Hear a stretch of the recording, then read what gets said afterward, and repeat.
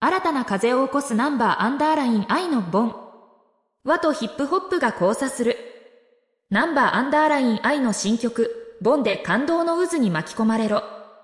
盆栽という日本の伝統文化をテーマにした新曲、ボンをリリースしたナンバーアンダーライン愛。これまでの彼らの活動やパフォーマンススタイルを超越し、新たな挑戦を果たしたこの楽曲は、和とヒップホップの融合を見事に果たしています。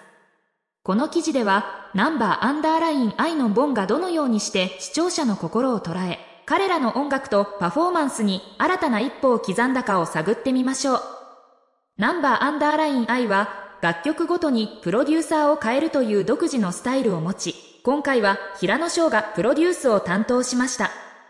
彼は、ボンについて、盆栽にフォーカスを当て、その成長過程やファンとの関係を自分たちと重ねて表現したと語ります。この説明からもわかるように、ナンバーアンダーライン愛の楽曲には深い意味とストーリーが込められています。ボンのパフォーマンスは正座から始まり、高速ラップと激しいダンスで構成されています。盆栽や盆踊りといった和の要素を取り入れながらも、ヒップホップのリズムとダンスを見事に融合させています。この斬新なスタイルは多くの視聴者に強烈なインパクトを与えました。SNS 上ではダンスやば。ナンバーアンダーライン愛天才だな、といった興奮の声が溢れています。ナンバーアンダーライン愛のパフォーマンスは、視覚的にも聴覚的にも観客を魅了します。彼らの星座から始まるパフォーマンスは、和の静寂とヒップホップのダイナミズムを巧みに融合させています。特に上半身の動きや振り付けは観客の目を引きつける要素として機能しています。正座という日本の伝統的な姿勢を取り入れることで、視覚的にも新鮮な印象を与えています。ファンからの反応も非常にポジティブで、彼らはゴートだ。また新しい境地を切り開いたといった賞賛の声が多く寄せられています。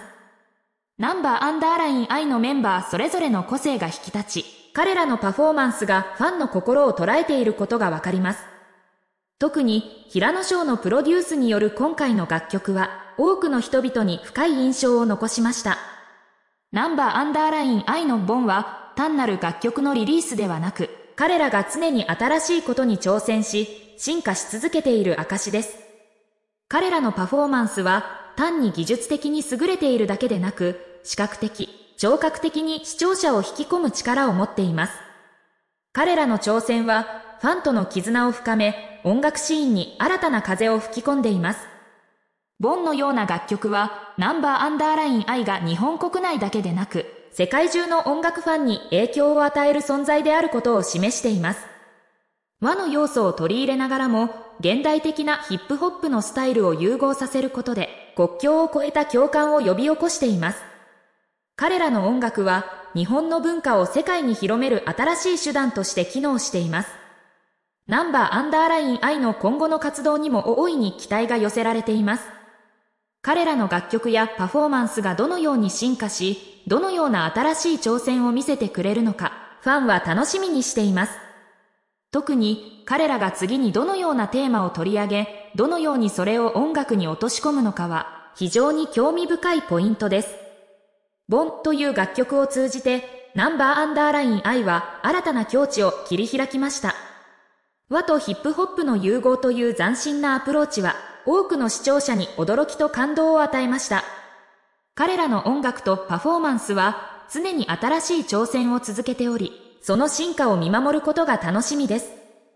あなたも彼らの次なる一歩を一緒に見届けませんか？ファンの声はアーティストにとって非常に重要です。ナンバーアンダーライン愛の場合、そのファンの声は大きな励みとなっています。彼らの音楽は中毒性がある、ボンはリピートしたくなる、といったコメントが SNS 上で多く見られます。これらの声は、ナンバーアンダーライン愛が音楽シーンで独自の地位を築き、さらに進化を遂げるための原動力となっています。特に、平野翔のプロデュースによるボンは、ファンからの支持が厚く、彼らの音楽的才能とクリエイティブなアプローチが高く評価されています。このようなファンの応援がナンバーアンダーライン愛の音楽制作にどのような影響を与えているのかを考えると、彼らが次にどのような楽曲をリリースするのか非常に楽しみです。ナンバーアンダーライン愛のボンは日本の音楽業界に新たな風を吹き込んでいます。和とヒップホップの融合という斬新なアプローチは多くのアーティストにとってインスピレーションとなっています。彼らの独自のスタイルとクリエイティビティは他のアーティストにとっても新たな挑戦の機会を提供しています。